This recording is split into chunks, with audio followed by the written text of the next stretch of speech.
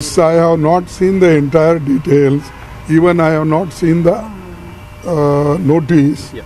And what are the reasons for that? That also I have not seen because just I am coming from Delhi Yeah. directly.